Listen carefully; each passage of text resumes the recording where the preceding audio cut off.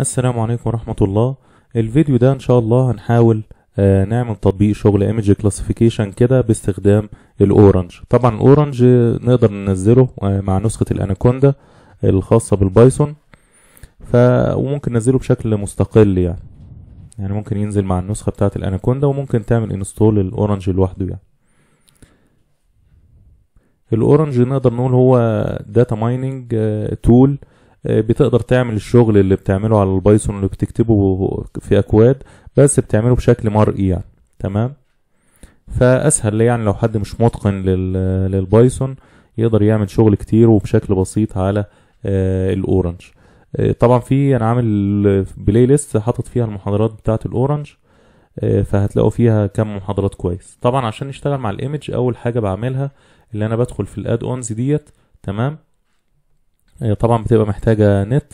هتلاقوا من ضمن الحاجات اللي بتظهر لنا هنا. مش عارف يعني هو النت تقريبا فيه مشكلة عندي. بس يعني من ضمن الحاجات اللي هتظهر لنا في ال add-ons اللي موجودة عندنا ال image analytics تمام؟ بنعمل لها install تمام؟ هو في مشكلة بس في في الانترنت. بس يعني بنعملها install وأنا عملت لها install موجودة عندي أهي. بعد ما تضاف هنلاقي فيه ال blocks بتاعتها هي اللي هي الخاصة بال image analytics وموجود حاجات كتيرة يعني.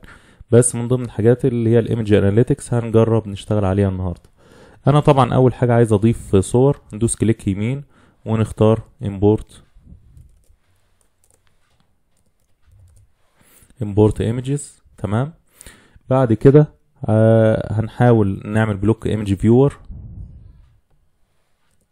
عشان نشوف الصور اللي إحنا ضفناها. شوف شكلها عامل إزاي. ونوصل الاتنين دول مع بعض. طيب فين الصور اللي هتبقى موجودة عندنا؟ أنا حطيت الصور عندي على ال desktop عشان يعني ما ندورش عليها كتير. عملت folder على ال desktop فيه الصور بتاعتي. وطبعا تقدر من هنا اللي أنت تختار المسار بتاعك اللي موجود فيه الصور وهو زي ال MATLAB يعني مجرد ان أنت بتحدد له ال folder بيبدأ هو ياخد البيانات اللي موجودة داخل ال folder دوت. آه، يعني مجرد ان أنا اخد له ال folder ده تمام هو يبدأ يشوف ال folder ده كان موجود جواه أربعة sub folder فبيعتبر كل واحدة من دول category أو class موجودة عنده. تمام؟ أقدر أشد الملف كده. تمام؟ وهو يتضاف عنده بشكل أوتوماتيك تمام؟ أنا طبعا كنت ضايفه قبل كده فعشان كده هو إيه موجود عندي ال data sets اللي أنا كنت ضايفها قبل كده. فبيقول لي أنت عندك أربعة category و512 image لو أنا عايز أشوفهم هلاقي موجود عندي هنا في ال image viewer شكل الايه الصور الموجودة عندي. هي صور كانت chest X-ray ومتصنفة على حسب الأمراض سواء بكتيريا أو viral أو كوفيد أو normal تمام؟ آه، طبعا أنا كنت واخدها تشكيلة كده من كذا قاعدة بيانات يعني. طيب دي ال images اللي موجودة عندنا. طب هو عايز يشتغل عليهم بيشتغل عليهم إزاي؟ هو بيحول الصور بتاعته ل features أو بيجيب لها بيعمل feature extraction بمعنى تاني باستخدام transfer learning طب بيعمل الكلام ده إزاي؟ هو عنده block اسمه image embedding هو اللي بيعمل القصة دي. آه هنجيب ال block بتاع ال image embedding وهنوصل ال block بتاع ال image embedding تمام؟ ال block بتاع ال image embedding ده هيحول لي الصور اللي كانت موجودة عندي ل آه، كل صورة مثلا نفترض الصورة أبعادها. أنا طبعا الصور دي عامل لها ريسايز وكلها نفس الأبعاد. آه، مثلا مظبطها 227 في 227 ممكن حتى نتأكد منها.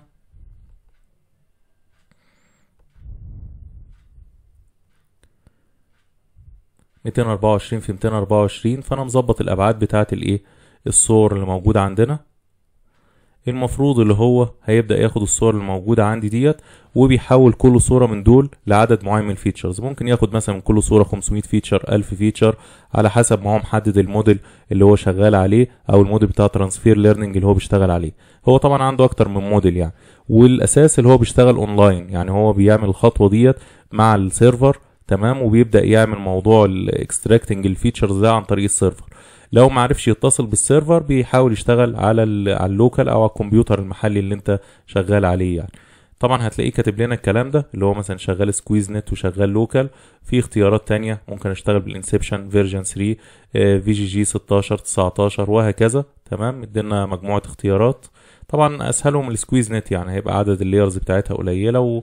ومن أسهل ال models يعني. ممكن طبعا ال VGG والحاجات التانية تديني نتائج أفضل.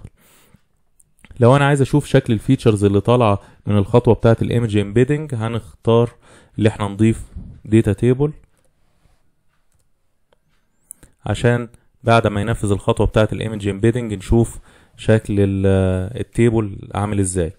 طبعا هنلاقي عامل لنا مجموعة rows تمام؟ كل row row بيمثل ال features اللي اتاخدت من صورة من الصور ومكتوب جنبها ال class بتاعتها أو ال category بتاعها ويبقى كاتب ال size بتاع الصورة وكاتب الويتس والهايت بتاعها شكله عامل إزاي.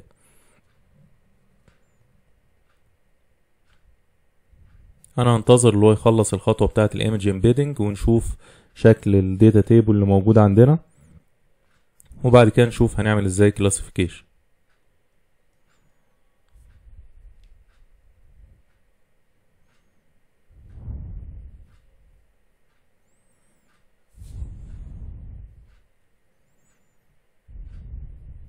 طيب كده خلص الخطوة دي. هنفتح ال data table اللي موجود عندنا. هنلاقي كاتب لي ال category وكاتب لي ال image name والمسار بتاع الصورة وال size وال width وال height وجايب لي كل الايه التفاصيل. وبعد كده ده ال features اللي هو واخدها من كل صورة.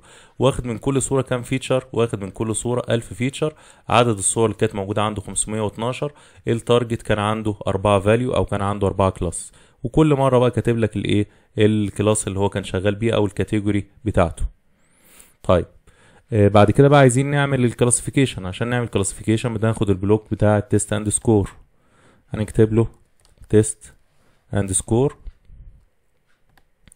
وهنوصل ال block بتاع ال Test and Score وبعد كده بنختار نوع بقى ال classifier اللي إحنا عايزين نشتغل بيه. أنا في الغالب بفضل طبعا في الغالب يعني ال neural network بيديني أداء كويس. إيه ال support vector machine يعني ممكن نحط support vector machine ممكن random forest ممكن AdaBoost يعني دول آه، بتهيألي في الغالب هم اللي بيدوا أفضل نتائج.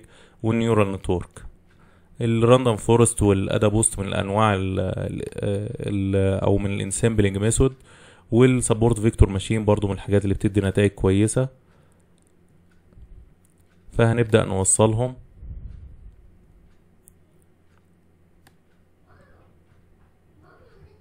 وال neural network. طبعا في الغالب أكترهم يعني من ناحية الوقت أو اللي بياخد وقت طويل في في ال training والكلام ده في الغالب ال support vector machine وال neural network بياخدوا وقت طويل. عشان كده أنا ما وصلتش ال neural network عشان إيه؟ نشوف نتائج بشكل سريع شوية يعني. طبعا أنا ممكن أوصل برضو confusion matrix تمام؟ بحيث إن أنا أشوف شكل confusion matrix في كل حالة.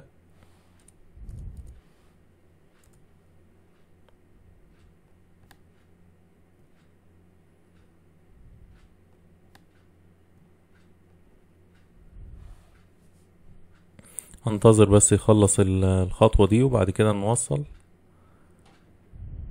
طيب هو خلص. بعد كده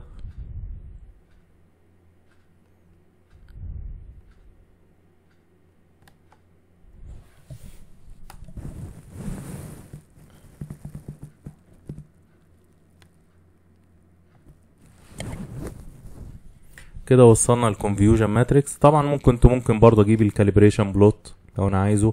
الحاجات بتاعت ال evaluation يعني أجيب ال ROC analysis كل الكلام ده ممكن نوصله يعني بس يعني إيه ممكن ده يكون في مراحل تانية. هنفتح ال Test and Score هلاقي جايب لي ال evaluation result جايب لي ال area under curve جايب لي ال classification accuracy ممكن طبعا نرتبهم بناء على ال accuracy هلاقي أعلى واحد مثلا كان ال support vector machine كان ال classification accuracy ب 80% ال F score كانت مثلا ب 80% ال precision 80 recall ال log loss ال specificity طبعا أنا مش عايز أعرض كل الحاجات دي أو أقللهم أو أزودهم أو كده هتلاقي فيه اختيارات تبدأ تختار اللي أنت كنت تعرضه من ال metrics يعني المختلفة. وطبعا إحنا كده شغالين cross validation ب 10 folds أهو وشغال stratified يعني بيحاول ياخد عدد ثابت من كل class عايز تغير طبعا في الكلام ده تقدر تغير بدل ما تشتغل 10 تشتغل 2 3 5 10 20 وموجود عندك تقدر برضو تشيل الاختيار بتاع ال stratified وطبعا كنت ممكن تقسمهم برضو ل train و test لو أنت كنت عايز تشتغل train و test يعني. ده بشكل بسيط تمام؟ ولو عايزين نشوف شكل ال confusion matrix فهو بيجيب لي ال confusion matrix طبعا إجمالي الصور 512 وبيبدأ يشوف لي طبعا القيم ال- الصحيحة أو اللي تعرف عليها بشكل مظبوط هي اللي موجودة عندنا في القطر الرئيسي اللي هي بالبنفسجي. دي الحالات اللي هو اللي يعني مثلا 79 دي اللي هي كانت بكتيريا وهو شافها بكتيريا يعني كان ال actual بكتيريا وال predicted بكتيريا ونفس القصة هنا هتلاقي دي اللي كانت كوفيد وال predicted كوفيد وهكذا هنا اللي كانت normal وال predicted normal بالنسبة له ال misclassification اللي هي الحالات التانية دي يعني مثلا حاجة زي اللي أنا واقف عليها ديت دي كان بالنسبة له ال actual كوفيد طبعا المحور ده بتاع ال actual والمحور اللي فوق ده بتاع ال predicted وهو كاتب لي جنبها قال لي ال actual كان كوفيد بس ال predicted طلع بكتيريا مثلا اللي تحتها دي كان بالنسبة له ال actual كان normal وال predicted بكتيريا فطبعا لما ببدأ أشوف ال confusion matrix اللي موجودة عندنا هنبدأ نشوف هو غلط في أي class بشكل كبير والتوزيع بتاعه كان شكله عامل إزاي. وممكن في الوقت ده نفكر نعمل ensembling ما بين أكتر من من classifier بحيث واحد يعالج لنا مشكلة مثلا في أحد ال classes وواحد يعالج لنا مشكلة في class تانية وهكذا يعني. وطبعا موجود عندنا ال random forest وموجود عندنا بالنسبة لل SVM ممكن نجرب ال neural؟ مش عارف إذا كانت هتاخد وقت طويل معانا يعني ولا هتعمل إيه.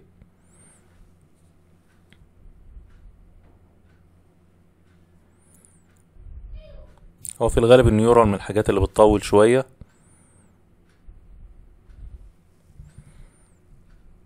بس طبعا التعامل مع ال features بيبقى أبسط من التعامل مع الصورة نفسها واللي أنت تشتغل transfer learning أو معلش تشتغل يعني تعمل model deep learning وتستخدم transfer learning في كل المراحل.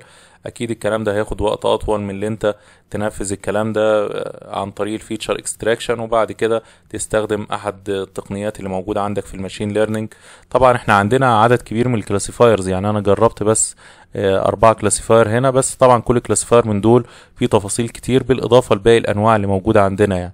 يعني هنلاقي موجود عندنا ال KNN وموجود عندنا ال tree وموجود ال linear regression وموجود ال logistic regression وموجود ال naive Bayes مثلا يعني موجود وموجود ال SGD فموجود عندنا أنواع كتير وطبعا داخل كل نوع هنلاقي موجود عندنا مثلا ال solver عندنا ثلاث أنواع من ال solver هنا مثلا ونقدر نتحكم طبعا في عدد ال hidden neurons اللي إحنا شغالين بيها ونتحكم في ال activation functions. طبعا غالب ال models اللي موجودة عندنا في ال Orange هو بيحط لك بعض ال features أو نقدر نقول بعض ال hyperparameters تقدر أنت تعدل فيهم وباقي ال hyperparameters هو بيخليها آه زي ال default يعني. تمام؟ أو بيخليها على ال default بتاع ال library الأساسية بتاعت ال sklearn يعني. طيب هو كده خلص. ممكن كده نفتح ونشوف القيمة اللي موجودة عندنا. أنا كده برتبهم بناء على ال accuracy فبالنسبة لي أعلى حاجة ال SVM ب 80 مثلا وسبعة من عشرة وبعد كده 80 واحد من عشرة اللي هي ال neural network وال area under curve كان عندي دي 94% أو 94 ونص دي 94 وسبعة من عشرة. ال log loss طبعا كل ما كانت قريبة من الصفر كل ما يكون أحسن. فأنا بالنسبة لي كانت 4 من عشرة هنا 7 من عشرة. تمام؟ يعني الخلاصة اللي أنا كان عندي ال accuracy range التمانين في المية فطبعا نقدر نعمل شغل أكتر من كده لو إحنا عايزين نحسن الموضوع ده باللي أنا أغير ال image embedding تمام؟ نغير نوع ال features بدل ما آخد ال features اللي جاية لي من ال SqueezeNet ممكن ناخد اللي جاية من ال VGG 16 19 Inception وهكذا ونقدر نطبق الكلام ده كله. هكتفي بكده إن شاء الله. وأظن إحنا برضو كنا عملنا فيديو تاني عملنا نفس الموضوع ده باستخدام ال MATLAB بس كتبناه ككود والكود قدرنا نطلع ال features اللي موجودة عندنا في ال transfer learning model وبعد كده خدناها ونفذناها على ال classification learner وقدرنا عن طريق ال features ديت نستخدم عدد كبير من ال machine learning model ونتعامل مع ال features دي ونعمل لها classification هحاول أحط الفيديو ده برضو في الفيديو بتاع ال MATLAB في الوصف برضو تحت الفيديو بحيث يبقى متاح معانا الفيديو الخاص بالبايثون والفيديو الخاص بالماتلاب. شكرا لكم